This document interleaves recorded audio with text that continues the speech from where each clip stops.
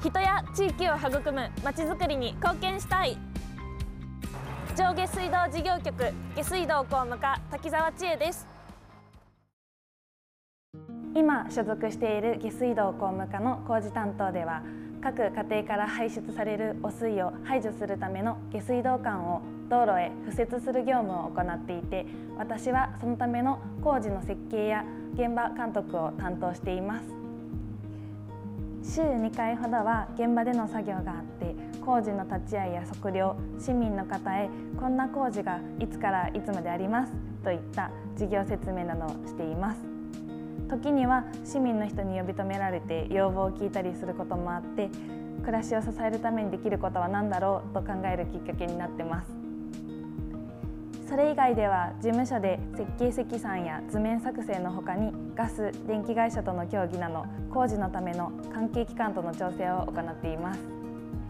私は生まれも育ちも津市で農業の治水や防災について学ぼうと思って大学へ進学しました。学んだ知識を生かすのは地元だと思って津市を受けました。当時から本当純粋に土木技師としてふるさとのまちづくりに貢献したいと思ってました。土木の仕事のいいところは自分が関わったものが地図に残ったり実際の暮らしに直結したりするところで達成感だけじゃなくてこれお母さんがやった仕事だよと将来子供に話せたりするところですなのでやりがいという面で土木を選んでよかったなと思っています。土木の仕事はゼネコンだったりハウスメーカーや工務店など選択肢はいろいろあると思うんですけど職員として働くことでとことん津市のまちづくりに関われるということは他にない最大のポイントだと思います。日々は一人で黙々と仕事をこなして頑張るというよりは市役所内で関係する部署や工事をお願いする会社県など関係機関のいろんな方と協力して一つのものを作り上げているのでコミュニケーションをとって助け合いながら仕事をしていくことの大切さ面白さを感じています。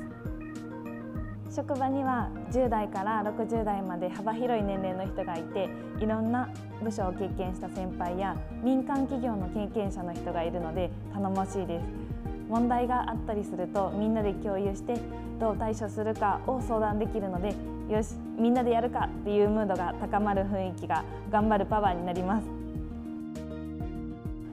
今は土木職にも女性がたくさんいて仕事の相談もしたりするんですけどランチタイムにはあそこのご飯屋さん美味しくておすすめだよといった話もしてリラックスしています。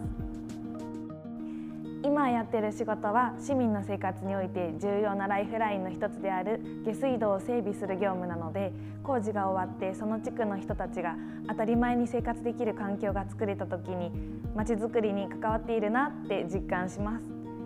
水道や下水道って使えて当たり前なのでその当たり前を支えられる仕事に携われていることが嬉しいですね。やっぱりオンとオフの切り替えって大事だと思うんです。学生時代からチアをずっと続けていて声を出して笑顔で体を動かしていると気持ちよくて仕事がちょっと大変だなって思う時も自分自身にパワーを送ったりしています。なので大好きなチアはなくてはならない存在で休日の練習を楽しみに仕事を頑張っています。これまで水道や下水道の業務を経験してきたんですけど土木の技術職として都市計画や農林水産の業務にも携わってスキルアップしていきたいと思っています。市役所の職員になってから最初は技師補として先輩について仕事を覚えてきました。教えてもらってきたことを経験と知識を蓄えて新しい人たちに教えていける先輩になりたいなっていうのも一つの目標です。津市で一緒に働きませんか？